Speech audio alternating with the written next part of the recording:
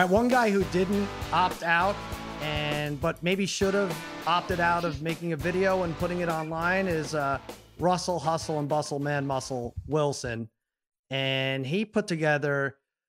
Everyone goes to cringeworthy, and I wish I could think of a different word, but it really, I was like, oh, let me watch this thing. And well, we'll let you decide for yourself. You got to be unlimited. You know, you got to have a thought process of being unlimited. So when people ask you, you know, what you're thinking about or what you want to do in life or where you want to go, you got to be unlimited. Tell them I'm unlimited. You know what I mean? So when they ask you certain questions like, who brings you motivation, Russell? Mr. Unlimited. What was I, that? Uh, and he has Ciara. He has his, is that his wife, or we did think that's his wife, Ciara? She's in on the bit too. Is that an overtired young father, or is that just someone who started a cameo video and forgot he was doing it and then just never sent it? Like, what did we just hear there? I think he probably just like watched Limitless with Bradley Cooper, and he was like, "Oh my god, I have such a sick idea for an alter ego. Get this, Ciara, babe."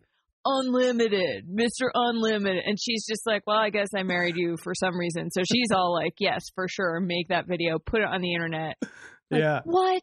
You can't give yourself your own nickname. Most nicknames have to have an element of tormenting the person at whom they're directed. Yes. Now, when you're a, a high end athlete, it's for a marketing thing, Air mm-hmm. Jordan and so on, Mean Joe, and and the list goes on and on.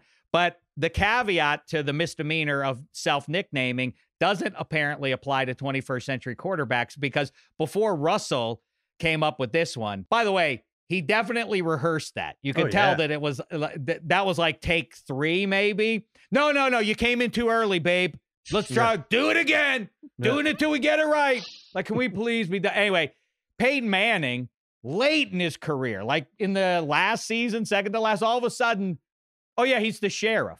Where who remember that when Peyton Manning's nickname became the sheriff?